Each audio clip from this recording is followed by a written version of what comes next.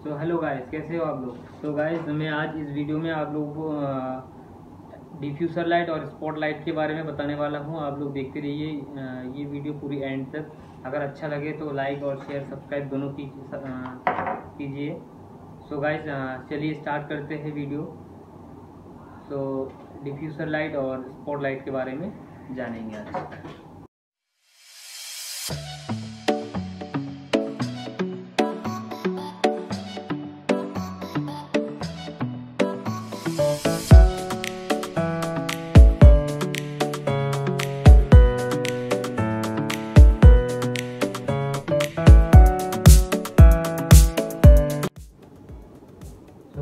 देखिए ये है स्पॉटलाइट स्पॉटलाइट यानी C U B spot spotlight है। इसका बीम एंगल अप्रोक्स है twenty four degree beam angle है इसके।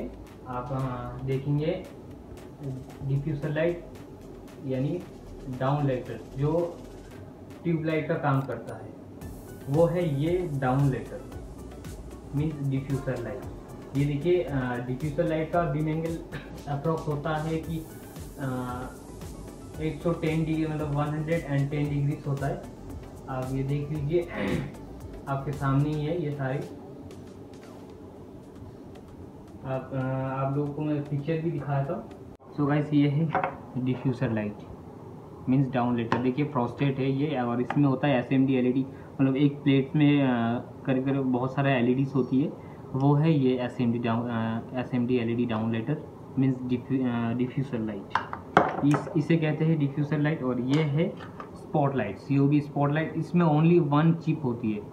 ये देखिए क्लियर ग्लास में रहता है। चिप वन चिप होती है इसमें। और इसका बीम एंगल है थर्टी डिग्री ये ओनली आपको थ्रो देगा। बिल्कुल बीम एंगल में देगा ये। जैसे चौबीस degree ten degree fifteen degree इसमें मिलेगा। और ये है अ, ये डिफ्यूसर होता है ये। इसके अंदर जो है एस एम डी है और इसका बीम एंगल है अप्रोक्स 110 डिग्री के आसपास 110 डिग्री इसका है। सो so गाइज़ अगर ये वीडियो अच्छा लगे तो आप लोग शेयर कीजिए सब्सक्राइब कीजिए। धन्यवाद।